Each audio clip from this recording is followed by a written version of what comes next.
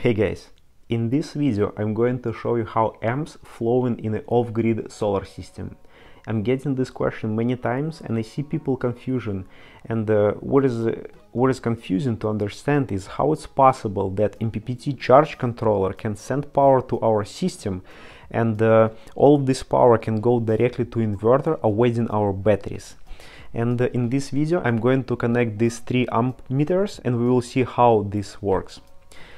What I have on the table right now is the three main components that uh, every off-grid system contains. First is MPPT charge controller. Role of this device is to get power from solar panels, step down this power to the battery voltage and get all available, like, squeeze maximum power from solar panels. Second is uh, battery. In my case, it's lithium iron phosphate batteries, 16 cells. And the third one is inverter. So this is simple off-grid inverter, which is taking DC power from a battery and converting this to AC power that uh, our home appliances consuming. So this is 48 volts inverter, 2000 watts. And in my case, instead of solar panels, I'm going to use this power supply because it's going to be much easier to simulate multiple scenarios and show you how it works. So simple connection for off-grid solar systems, we have these bus bars and uh, basically positive from uh, MPPT charge controller, positive from the batteries, from the BMS and positive from inverter going to one point and all negatives going to another point. Right now I'm going to connect all of this together and I'm going to connect this amp meter so we'll see how uh, electricity flowing from MPPT charge controller to the battery to inverter and etc. Let me quickly connect this.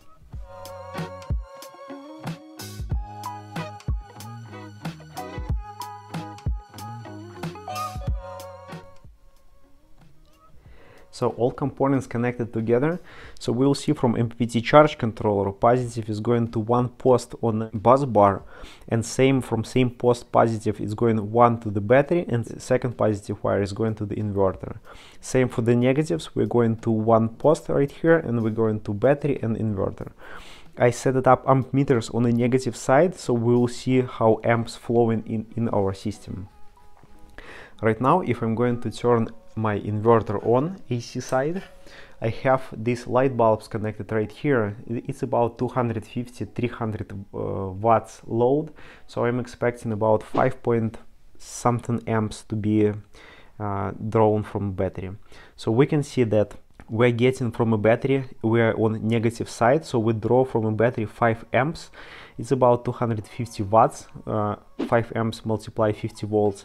And then all of these amps flowing into our inverter. So we see 5 something amps going into inverter. On MPPT charge controller we see 0 because we don't have any any power available on MPPT charge controller. Now let's perform first test I connected this power supply to MPPT charge controller and I'm going to hit this power supply to the maximum it's able to supply about 300 watts so it's just it's going to start charging our system in a second. We can see that uh, MPPT charge controller charging with 300 watts and we can see on this amp meter that we're pushing into our system 5 amps. So to explain what is happening right now, let's divide our system right here. So this side is a charging side, it's pushing into our system into this one 5 amps. It doesn't know where this 5 amps going. Is it going to load or is it going to the battery?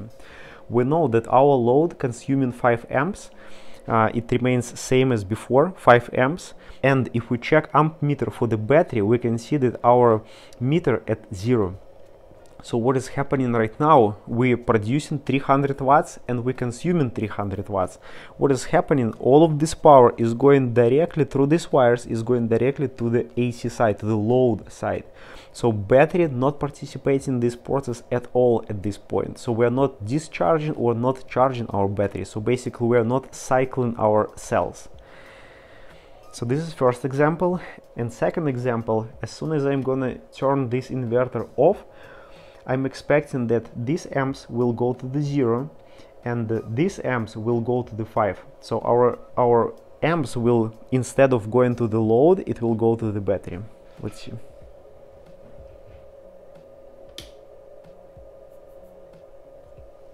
okay so it's immediately switched to the zero and now we're we're pushing 5 amps right here so it, it, it might it's changing because MPPT charge controller doing trying to get maximum power from uh, power supply. Let me turn this back on.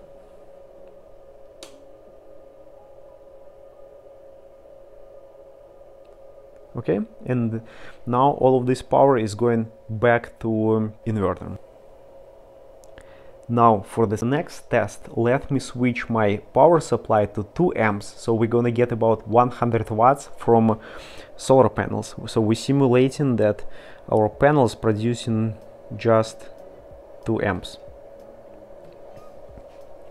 so we see on this amp meter that we're pushing into system 2 amps but our consumption is still 5 amps. So what is happening?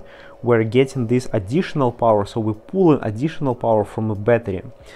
So right now, MPPT charge controller and battery together supplying our inverter. And uh, I'm just going to adjust this dial and you can see like how this uh, amp meters going one is going up and this is going down I mean, this is growing and this is going to zero.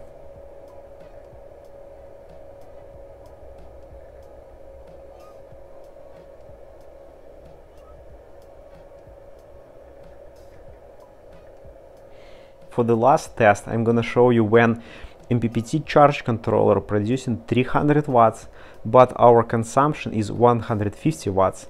So let's turn half of these lights off and let's see what's gonna happen with our amps.